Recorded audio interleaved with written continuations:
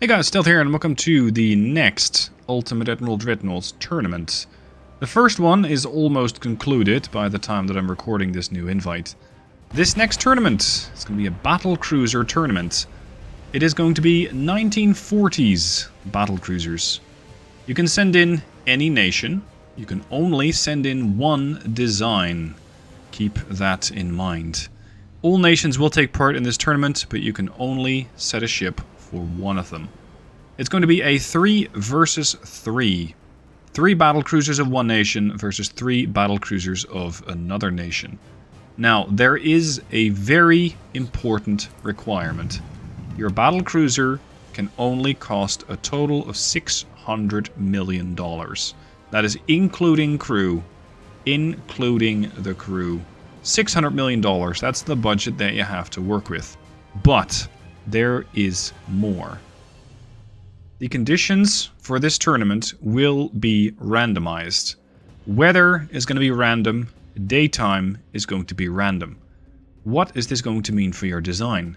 Well, it has to be able to fight in any weather condition. It could be clear, it could be cloudy, it could even be stormy. It could be morning, it could be evening, you can even be fighting at night you don't know what the situation is going to be. Now, I am running this most likely under 1.3.9.9.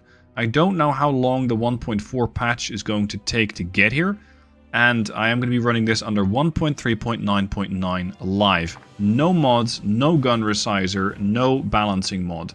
If you want to make a ship, make sure you do it under vanilla. If you want to send it in, link down below in the description about the information or about the tournament, what sort of requirements there are, how you can send in your ship, and what the deadline is going to be. Now, in case you've never had to send in a design, here's how you do it. First, you build the ship in Ultimate Dreadnoughts in Shared Designs. Once you've done that, hit Save, and the file is going to get created into the Designs folder. Now, how do you find that? You go to Windows R, you press that at the keyboard, you go to percentage, app data percentage, once there, you're going to go to back to app data, not roaming. You're going to go to local low, game labs, Ultimate Admiral Dreadnoughts, designs. There you can find one of the files that ends with bin design. That's the file that you send in through the Google form. I look forward to seeing all your battlecruiser designs. 600 million is not an easy budget to make work, especially considering you don't know what situation you're going to face so you'll just have to make something up.